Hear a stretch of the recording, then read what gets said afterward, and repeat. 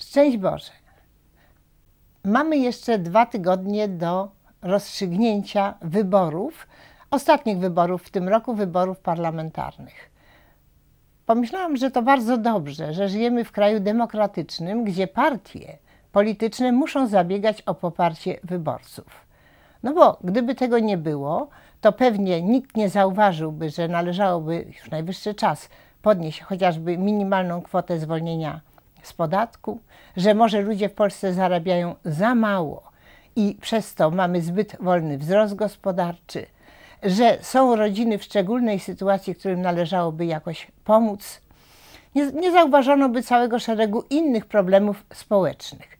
Bo proszę zwrócić uwagę na to, że w kampanii wyborczej dominują wyłącznie tematy powiązane z interesem jakiejś grupy bądź, bądź problemem społecznym, który należy szybko rozwiązać. Nie pojawiały się natomiast żadne elementy, które świadczyłyby o tym, że rywalizujące ze sobą partie mają całościową wizję naprawy państwa, chociaż wszystkie oczywiście to deklarują. Ja nie neguję, że w programach mogą takie zapisy się znaleźć, ale to, co przenika do mediów, wyraźnie świadczy o tym, że ani diagnoza stanu obecnego, ani jakaś wizja na przyszłość właściwie nie są znane polskiemu społeczeństwu. I tak się zastanawiam, jaka to może być przyczyna. Czy dlatego, że nie mamy odwagi powiedzieć, jak trudne wyzwania nas czekają w dalszej perspektywie, czy też może wynika to z faktu, że trzeba by ludziom powiedzieć, że naprawa tego, co stało się w Polsce i to nie w ciągu ostatnich ośmiu lat, bo to był jak gdyby ostatni, najsilniejszy akord niszczenia tego, co przedtem budowały pokolenia, że to będzie wymagało znacznych od nas ofiar.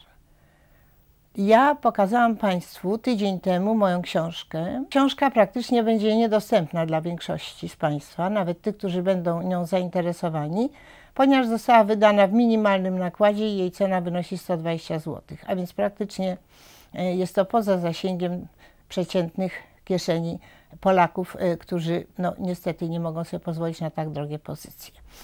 E, ja w tej książce stawiam bardzo wyraźnie tezę, że to, co obserwujemy obecnie w Polsce i co do swoistej perfekcji doprowadziły rządy koalicji PO-PSL, w niszczeniu resztek polskości, no bo polskość to nienormalność, jak powiedział lider Platformy Obywatelskiej, zanim wyjechał y, na placówkę do y, Unii Europejskiej. Otóż ja twierdzę, że to, z czym mamy do czynienia, z czym trzeba się borykać i co jest załatwiane tylko w formie interwencji, doraźnej interwencji albo ustępstw na rzecz elektoratu, zaczęło się wiele, wiele lat temu, zaczęło się w latach 70 w latach 70., kiedy pojawiły się na świecie takie pomysły, że właściwie to pomiędzy socjalizmem i kapitalizmem nie ma zasadniczej różnicy i właściwie obie te formacje mogą zdążać w tym samym kierunku i pięknie ze sobą współpracować. Te teorie konwergencji były popularyzowane i na Zachodzie, i u nas a jednocześnie przygotowywano kadry w byłych krajach socjalistycznych do tego, aby można było pokojowo odejść od dyktatury, tak zwanej dyktatury proletariatu, a de facto dyktatury pewnej partii, która siebie nazywała komunistyczną, na rzecz dyktatury kapitału, za którym stoją globalne instytucje finansowe, przede wszystkim takie jak Międzynarodowy Fundusz Walutowy i Bank Światowy.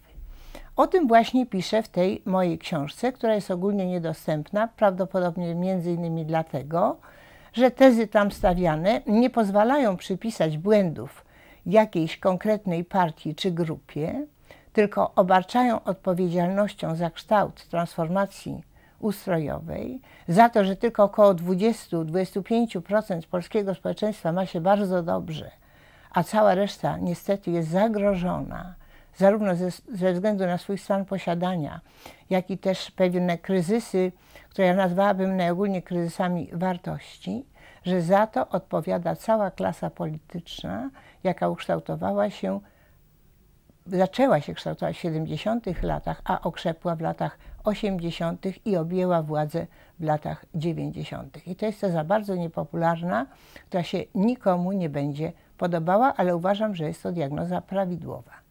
Y, do tego tematu powrócę za tydzień, a na razie żegnam się z Państwem. Szczęść Boże, do zobaczenia.